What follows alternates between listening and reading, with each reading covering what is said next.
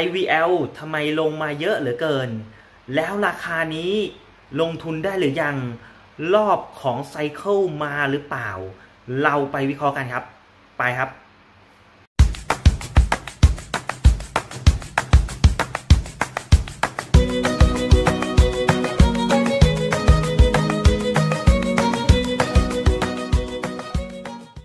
สวัสดีครับ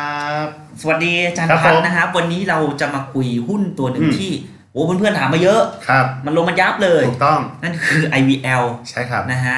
วันนี้ก็ชวนอาจารย์พัฒน์อืม มาช่วยวิเคราะห์พื้นฐานหน่อย ครับ คือคือเทคนิคมันไม่ได้แล้วล่ะ มันอะ เละแล้วมันต้องคัดตั้งนานละ เอ่อจริงๆ ถ้าใครพูดมาได้ตังค์ถูกถูกถูกหรือว่าใครช็อตมาได้ตังค์ ได้ตังค์นะครับอ่าคราวนี้เราจะมาวิเคราะห์ว่า เออ IVL มันลงสาเหตุจากอะไร ครับแล้วอืมจะตรงเนี้ย ถามครับว่า bottom ได้หรือยังอืมอ่าเดี๋ยวให้อาจารย์ช่วยนะครับครับเอาไป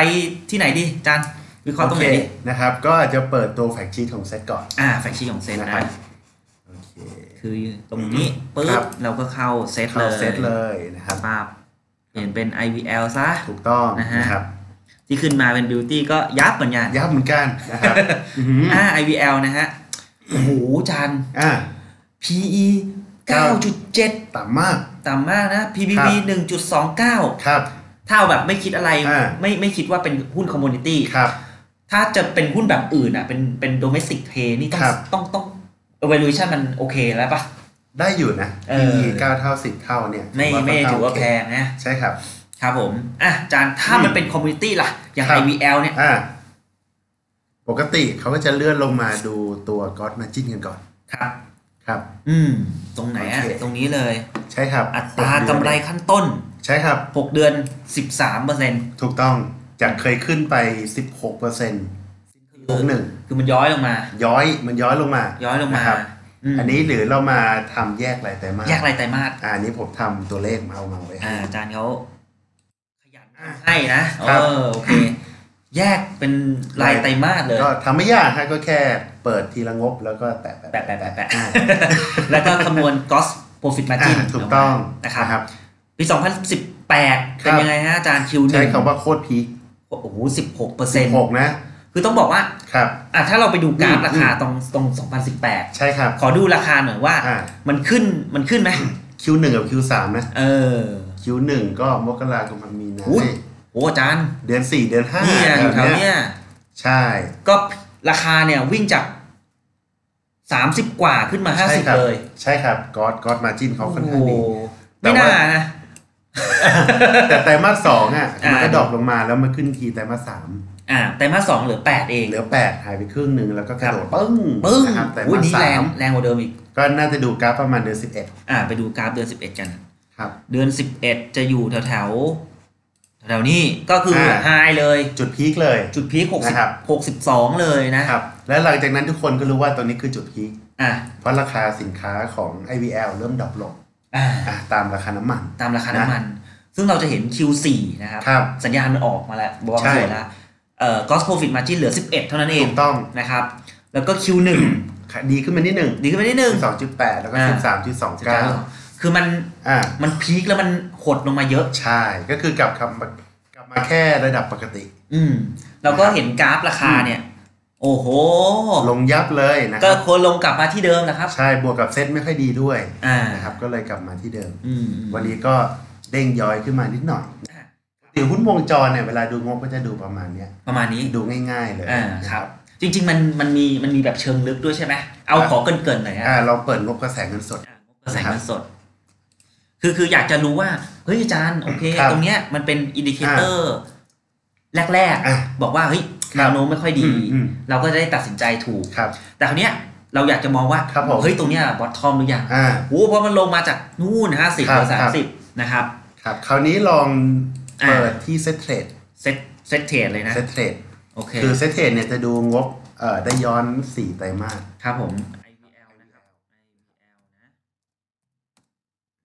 อืม แล้วเข้าไปที่งบการเงิน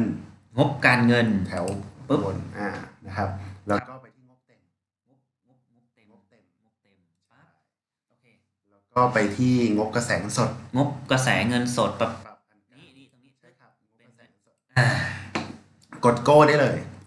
โกนะคฟึรับบ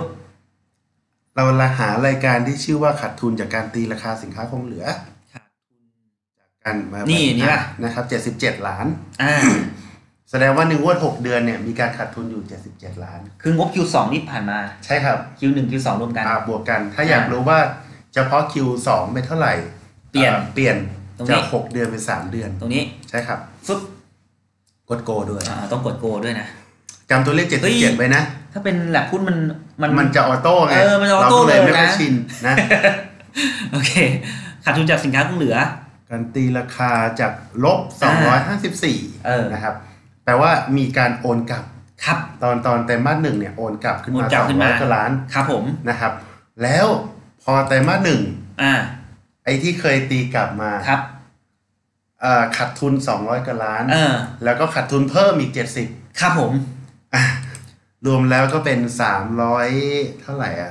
320ครับ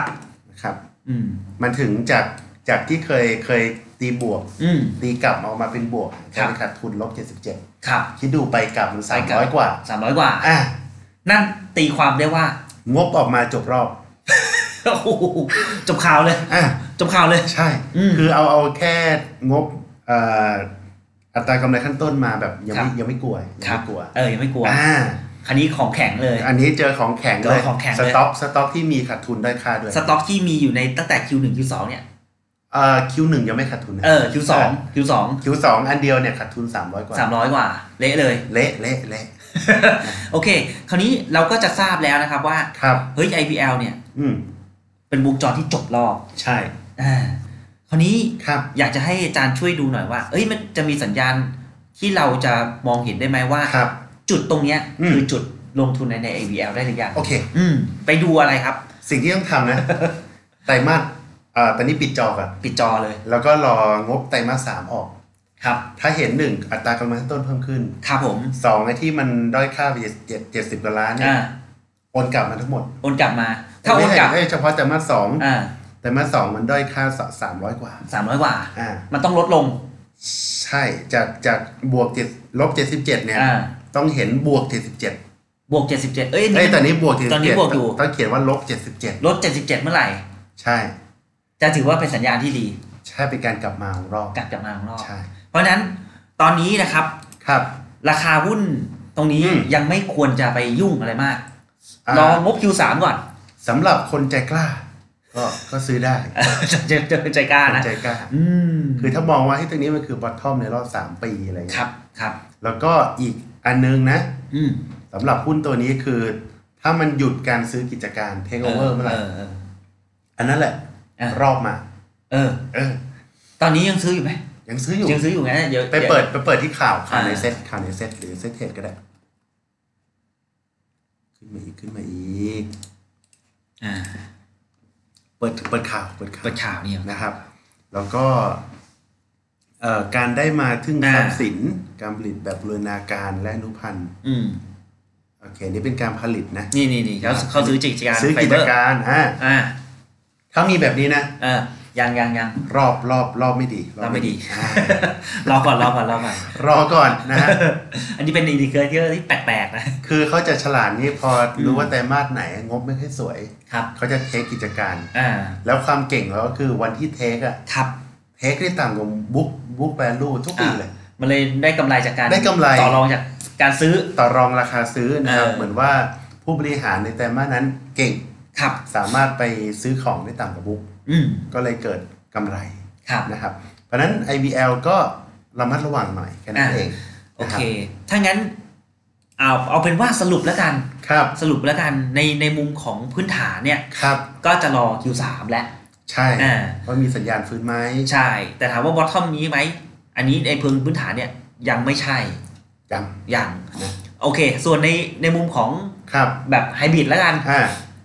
เด้งอันเนี้ยคือการเด้งเฉยครับๆรอก่อน ก็อะอิงงบด้วยครับ งบยังไม่ยังไม่อืมโอเครอ Q3 เหมือนกันได้ยังไม่มีสัญญาณที่ควรจะเข้าไปยุ่งถูกต้องอาจจะต้องไปเล่นตัวอื่นก่อนดีกว่าครับนะนะครับ หรือเป็นตัวที่ได้ประโยชน์จากอ่าที่ราคาพวก commodity มันลงอ่ามีไหมมีไหม IVL ต้องอะดู PTL แทนอ่าก็ได้ PTL แทนอะไรอย่างเงี้ยนะแต่วั นนี้นี้เราจะไม่วิเคราะห์ IVL เออ PDL นะแต่ดูกราฟให้เฉย คือ PTL อ่าก็เอาวัตถุดิบมามาผๆลิมาตทำต่ต่ออ นะครับ ก็อาจจะได้ต้นทุนลดลงนิดนึงนะครับ ครับ แต่ว่าตลาดก็ ไม่เล่นนะไม่เล่นนะนะครับเออไม่เล่นโอนะเคครับก็ก่อนจากกันครับนะครับผมก็เอ่อเรามาขอโฆษณานิดนึงครับ นะครับ คือบริการของแลบหุ้นตอนนี้ครับเอ่อตอนนี้โอ้โหขายดีมาก ครับนะ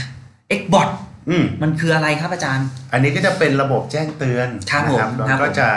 เอ่อทุกเช้าเนี่ยมันก็จะไปหาหุ้นมาอืมนะครับที่เข้าระบบในเชิงพื้นฐานครับแล้วก็กราฟครับมันก็จะมาเฝ้าให้อ่าพอคือเฝ้าคือเป็นสายไฮบริดใช่ครับสายแคนสลิมนั่นเองใช่ครับพอมีวอลลุ่มเข้าเข้าสัญญาณเข้าอะครับมันก็จะแจ้งเตือนเข้ามา แจ้งเตือนแบบเรียลไทม์ใช่ให้เพื่อนๆ จะได้ไม่ตกรถอ่าอ่าถูกต้องหรือหรือแบบทำงานอยู่เฮ้ยครับนึกมาซื้อซื้อซะหน่อยอ่าถูกต้องแอบแอบหัวหน้าซื้ออะไรเงี้ยไม่แต่ว่าจะเป็นหุ้นที่เราทำกันบ้านมาให้อยู่แล้วอ่าเป็นหุ้นนะครับที่เป็นหุ้นโกลดเป็นหุ้นอ่าพื้นฐานถูดีกต้องนะครับไม่ใช่เป็นหุ้นปั่นนะครับครับเพราะฉะนั้นก็จะเหมาะกับนักลงทุนมือใหม่อืมนักลงทุนที่ต้องการครับพื้นฐานแล้วครับเอ่อไม่อยากเสียเวลาในการวิเคราะห์หุ้นครับเยอะอะไรแบบเนี้ยนะคครัรับบนะแต่ก็เพื่อเสริมความรู้นะคครัรับบเอ่อเนอะเราไม่ได้คุยกับหุ่นยนต์อย่างเดียวอ่านะครับ เราก็จะมีเอ่อ